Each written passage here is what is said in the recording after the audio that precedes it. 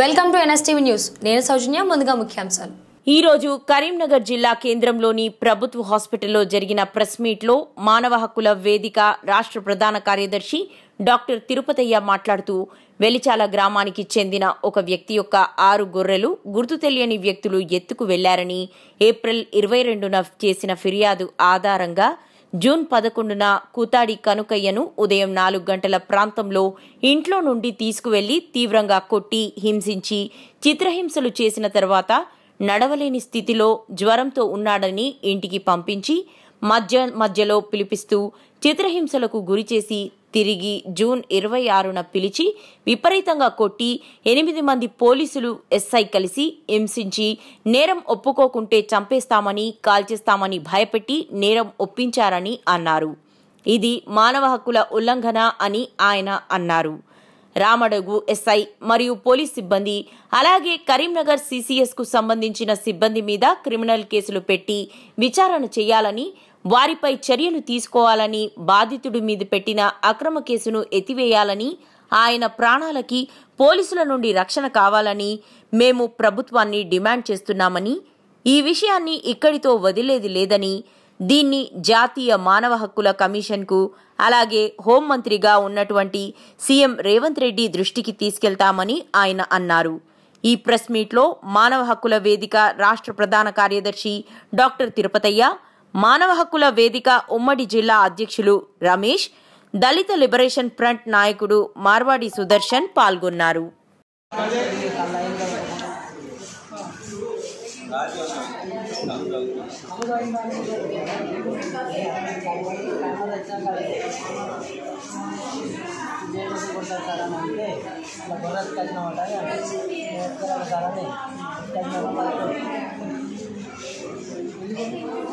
ఒకసారి నాలుగు ఒకసారి మూడు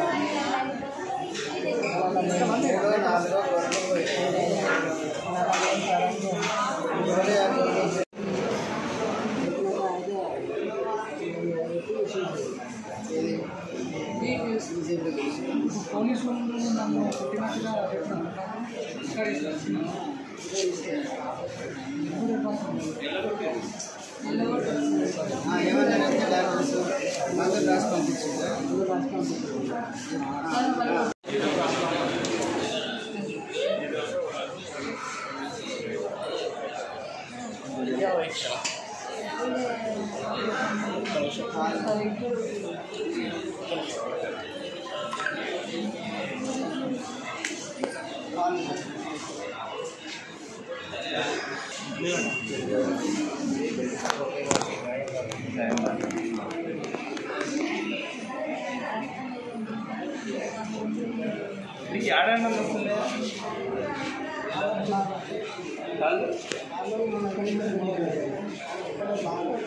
పేరు డాక్టర్ తిరుపతయ్య. నేను మానవ హక్కుల వేదిక బాలగోపాల్ గారికి సంబంధించినటువంటి ఒక సంఘము మా రాష్ట్ర ప్రధాన కార్యదర్శి.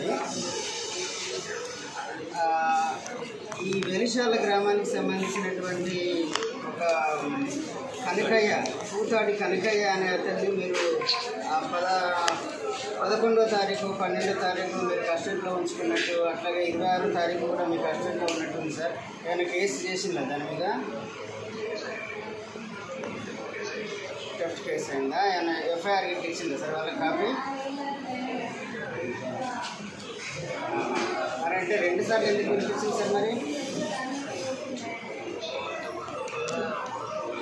ఆహా. ఇది రికవరీ అయిందా సార్? ఎవరికి గొర్రెలు వచ్చిందో ఆ గొర్రెలు కొన్న వ్యక్తి ఎవరు అని?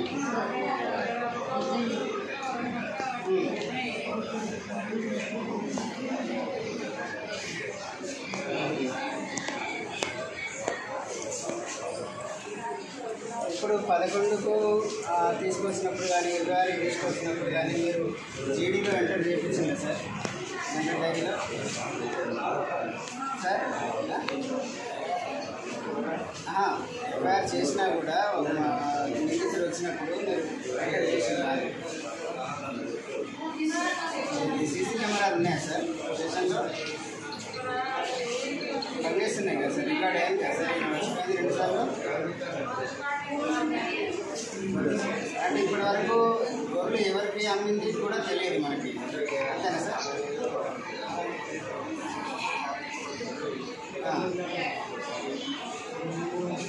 సార్ ఎన్ని గొర్రెలు సార్?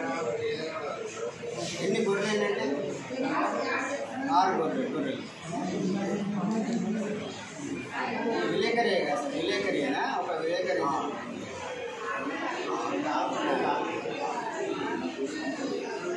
సరే సరే మీరు స్టేషన్లో ఉన్నారా అంటే ఉంటే మేము వస్తాం ఒకసారి.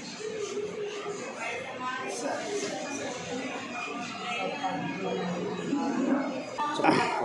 మేము మానవ హక్కుల వేదికకు సంబంధించినటువంటి రాష్ట్ర ప్రధాన కార్యదర్శిని నేను. నా పేరు డాక్టర్ తిరుపతయ్య.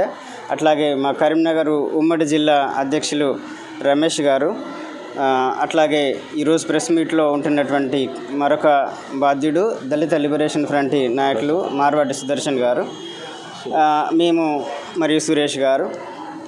ఈరోజు కరీంనగర్ జిల్లా రామడుగు మండలము వెలిశాల గ్రామానికి సంబంధించినటువంటి ఒక కమ్యూనిటీ రీత్యా ఎస్టీ వర్గానికి చెందినటువంటి ఎరుకల కులానికి సంబంధించినటువంటి కూతాడి కనకయ్య అనే ముప్పై ఐదు సంవత్సరాల ఒక వ్యవసాయ పనులు మరియు ఇతరులకు పాలేరుగా ఉంటూ జీవనం సాగించేటువంటి ఒక నిరుపేద వెనుకబడినటువంటి సామాన్య వర్గానికి చెందినటువంటి వ్యక్తిని పోలీసులు రామడుగు పోలీస్ స్టేషన్ నుండి రెండు పర్యాయాలుగా పిలిపించి రెండు పర్యాయాలు కూడా విపరీతమైనటువంటి థర్డ్ డిగ్రీ హింసను అతనిపై ప్రయోగించి ఒక చిన్న ఆరోప చిన్న అనుమానంతో ఎప్పుడో ఇరు ఏప్రిల్ ఇరవై రెండున ఒక ఆ గ్రామానికి సంబంధించినటువంటి ఒక వ్యక్తి యొక్క గొర్రెలు ఒక దాదాపు ఆరు గొర్రెలు ఎవరో గుర్తు తెలియని వ్యక్తులు ఎత్తుకు వెళ్ళారనేటువంటి కేసు ఏప్రిల్ ఇరవై రెండున నమోదైంది.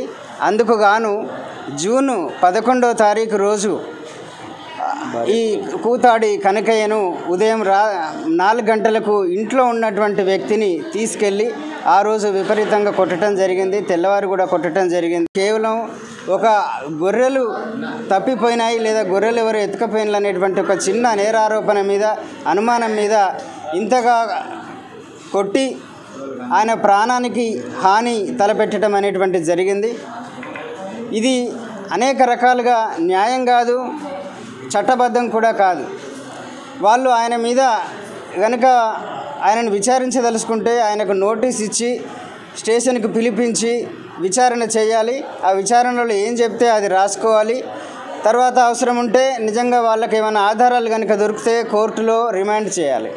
అట్లా కాకుండా రెండు రోజులు విపరీతంగా కొట్టి మళ్ళీ పంపించటము మళ్ళీ పదమూడు రోజుల తర్వాత మళ్ళీ పిలిచి మళ్ళీ విపరీతంగా మళ్ళీ కొట్టి అతను చేయని నేరానికి నిన్ను నువ్వు నేరం ఒప్పుకోకపోతే నిన్ను చంపేస్తాము నేను కాల్ చేస్తాము అని భయపెడితే ఇట్లా నన్ను ఎన్ని రకాలుగా ఎన్నిసార్లు పిలిపించి కొడతారో అనేటువంటి భయంతో నేరం ఒప్పుకునేదాకా కొట్టడం వల్ల నేను నేనే చేసిన అని చెప్పుకోవాల్సినటువంటి దుస్థితికి ఆ బాధితుడు రావటం జరిగింది. వాస్తవానికి ఆయన భయంతో ప్రాణభయంతో ఒప్పుకున్నాడు కానీ ఆయన దొంగతనం చేసినట్టుగా ఇప్పటి వరకు కూడా మేము కూడా నమ్మటం లేదు. ఎందుకంటే నిజంగా ఆయన దొంగతనమే కనుక చేస్తే ఆ గొర్రెలు తీసుకుపోయి ఎవరికి అమ్మిండు అని చెప్పి ఆయన వెంటనే చెప్పేవాడు. అట్లా కనుక చెప్తే ఆ గొర్రెలు రికవరీ అయ్యేటి ఆ గొర్రెలు కొన్న వ్యక్తిని కూడా వాళ్ళు తీసుకొచ్చేటువంటి వాళ్ళు అదంతా జరిగేది. ఈ రోజు వరకు అదంతా ఏమీ జరగలేదని అంటే నిజానికి ఆ గొర్రెలు మాయమవటానికి కనకయ్యకి ఎటువంటి సంబంధం లేదు. ఒక అమాయకుడిని అక్రమంగా అక్రమ అరెస్టు ద్వారా రెండుసార్లు అక్రమ అరెస్టులు చేసి పోలీస్ స్టేషన్కు పిలిపియటము ఒక తప్పు. అతని మీద థర్డ్ డిగ్రీ ప్రయోగించటము రెండవ తప్పు. చైన్ నేరాన్ని ఒప్పించడం అనేటువంటి మూడో తప్పు. ఇది చాలా అన్యాయమైనటువంటి పోలీసుల ప్రవర్తన ఇది. ఏ ప్రభుత్వం మారినా కూడా పోలీసులు మారటం లేదు వాళ్ళ బుద్ధి పోనిచ్చుకోవటం లేదు. వాళ్ళ బలము వాళ్ళ ప్రతాపం అంతా కూడా అమాయకుల మీద సామాజికంగా వెనుకబడ్డటువంటి వాళ్ళ మీద ఆర్థికంగా వెనుకబడ్డ వాళ్ళ మీద ప్రయోగం చేస్తున్నారు. ఇటువంటి అన్యాయమైనటువంటి నేరాలకి పాల్పడినటువంటి రామడుగు ఎస్ఐ మరియు పోలీస్ సిబ్బంది అట్లాగే కరీంనగర్ సిసిఎస్కు సంబంధించినటువంటి సిబ్బంది మీద క్రిమినల్ చర్యలు క్రిమినల్ కేసులు నమోదు చేసి వాళ్ళను వెంటనే డిపార్ట్మెంటల్ గా సస్పెండ్ చేసి వాళ్ళని తక్షణమే సస్పెండ్ చేసి విచారణ పోలీసులు విచారణ చేయాలని బాధితుని మీద పెట్టినటువంటి అక్రమ కేసును ఎత్తివేయాలని ఆయన ప్రాణాలకి పోలీసుల నుండి రక్షణ కావాలని మేము డిమాండ్ చేస్తున్నాం. ఈ విషయాన్ని మేము ఇక్కడితోని వదిలిపెట్టకుండా దీన్ని జాతీయ మానవ హక్కుల కమిషన్కి అట్లాగే హోంమంత్రిగా ఉన్నటువంటి ముఖ్యమంత్రి గారి దృష్టికి వారి సెక్రటరీ గారి దృష్టికి ఇది తీసుకువెళ్ళటం అనేటువంటి జరుగుతుంది. కోర్టుకు కూడా ఈ విషయాన్ని మేము తీసుకెళ్ళటం అనేటువంటి జరుగుతుంది. మరొకసారి ఎప్పుడు పోలీసులు ఇటువంటి దురాఘాతాలకు పాల్పడకుండా జరగాలి. ఎందుకంటే కరీంనగర్ చరిత్ర లో చాలా లాకప్ డెత్తులు చేసిండ్రు. మనకు తెలుసు ఒక ఎనిమిది తొమ్మిది సంవత్సరాల కింద కోరుట్లలో కూడా ఒక టీఆర్ఎస్ పార్టీ నాయకుని కారు డ్రైవర్ని విపరీతంగా చిత్రహింసలకు గురి చేయడం వల్ల ఆయన పోలీస్ స్టేషన్ మీద నుండి దూనికి చనిపోయినాడని చిత్రీకరించిండు వాస్తవానికి ఆయన పోలీస్ స్టేషన్లో చనిపోయింది అట్నే కరీంనగర్ లాకప్లో కూడా ఒక ఉదంతం జరిగింది. ఇంకా జగిత్యాల జిల్లాలో కూడా ఒకటి జరిగింది. మంతిని జిల్లాలో కూడా పోలీస్ స్టేషన్లోనే ఆయన తువాలతోటి బాత్రూంలో ఆత్మహత్య చేసుకున్నాడని చిత్రీకరించిండు. కాబట్టి ఇది ఒక పరంపరగా మానవ హక్కుల ఉల్లంఘనకు పోలీసులు పాల్పడుతున్నారు కాబట్టి పోలీసుల ఈ అనైతికమైనటువంటి చట్ట వ్యతిరేకమైనటువంటి చర్యలు ఆగిపోవాలని అందుకు బాధ్యులను శిక్షించాలని మానవ హక్కుల వేదికగా మేము ప్రభుత్వాన్ని డిమాండ్ చేస్తున్నాం. ఈరోజు కరీంనగర్లో మరో జై భీమ్ సినిమాను తలపెట్టినట్టుగా కనబడుతుంది. పోలీస్ వ్యవస్థ అంటే ఫ్రెండ్లీ పోలీస్ అంటే ఎవరికి రా ఫ్రెండ్లీ పోలీస్ అన్నట్టుగా కనబడుతుంది.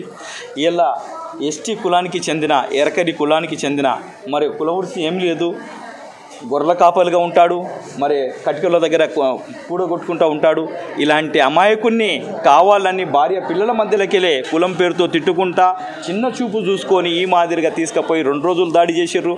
అదే కాకుండా మళ్ళా మూడు రోజుల తర్వాత ప- పదమూడు రోజుల తర్వాత మళ్ళీ తీసుకుపోయి తొక్కి పోలీసుల యొక్క నిర్వాహకం ఏదైతే దాడి చేసిర్రో అది ప్రజా ప్రచారం అవుతుంది ఊర్లల్లా అని మళ్ళీ అతన్ని ఒప్పించేదానికి ఒప్పించి కొట్టి థర్డ్ డిగ్రీలు చేయడం అనేది వాని అబ్బా జాగీర్ అన్నట్టుగా పోలీసు యూనిఫామ్ వేసుకోగానే ఈ చేయడం అన్నది హేమైన చర్య. దళిత లిబరేషన్ ఫ్రంట్ తరపున దీన్ని ఖండిస్తున్నాం. ఇప్పటికైనా కానీ కే- గతంలో ఉన్న టీఆర్ఎస్ ప్రభుత్వంలో పోలీసులు వాస్తవానికి టీఆర్ఎస్లకే పుట్టినట్టుగా వాళ్ళు వ్యవహరించిన తీరులు కనబడ్డాయి. ఒక్కొక్కళ్ళం థర్డ్ డిగ్రీలు. నేరాల సంఘటన కావచ్చు ఏ సంఘటన చూసినా కానీ పోలీసుల తురుముఖాను లెక్క వ్యవహరించారు. అమాయకుల మీద నేరాలను మోపారు. తిరుగుతే కూడా కేసులు పెట్టారు. అదే ప్రవ ప్ర- ప్రవర్తన ఇప్పుడు కూడా మళ్ళీ ఈ కాంగ్రెస్ ప్రభుత్వంలో వచ్చినప్పుడు కూడా చేయడం అన్నది హేమైన చర్య. ఇప్పటికైనా మనం మారుకోవాలి. మరి దాని మీద హైజీ లెవెల్ మరి జ్యుడిషియల్ కూడా దీని మీద చర్యలు తీసుకొని న్యాయ విచారణ జరపాలి. అమాయకుని మీద అక్రమ కేసులు పెట్టడం అదే కాకుండా ఒప్పించేదానికి తొ- కొట్టుకుంటూ తొట్టుకోవడం అన్నది ఎవరెవరైతే దాని మీద దాడి చేసిర్రో ఆ పోలీసులందరినీ వెంటనే రిమూవ్ చేస్తూ వాళ్ళ మీద అట్రాసిటీ కేసు నమోదు చేయాలి. అట్రాసిటీ కేసు నమోదుతో పాటు వాళ్ళని కఠినంగా శిక్షించాలి. ఇక ముందు ఇలాంటి సంఘటనలు జరగకుండా చూసే బాధ్యత తర్వాత వాళ్ళ ఇంటోళ్ళ దగ్గరుండి ఉండి అవును సార్. లేదు సార్ మా ఆయన జీతం ఉన్నాడు. గొర్రెలకు జీతం ఉన్నాడు. అయితే వేరేటోళ్ళకు ఉంటే ఈయనే గొర్రె దొంగతనం చేసిండని తీసుకుపోయారు సార్. కానీ తర్వాత మాకు ఇరవై ఆరు తారీఖు నాడు తెలిసింది సార్. ఆయన ఒప్పుకోమని కొట్టినాక ఒప్పుకున్నాడు సార్. వాళ్ళు ఒప్పుకోరా లంజోడుక ఎరకలు లంజ ఉడక నీ అమ్మని దింగతా అనుకుంటా కొట్టుకుంటా ఆయనను ఇబ్బంది పెట్టారు సార్. ఒక సంవత్సరం చేశారు సార్. అంతే. లేదు సార్ ఏం చేయలేదు. లేదు సార్ ఏం జరగలేదు. ఏం ఆయన జీతం చేసిండు వాళ్ళ దగ్గర అంతే.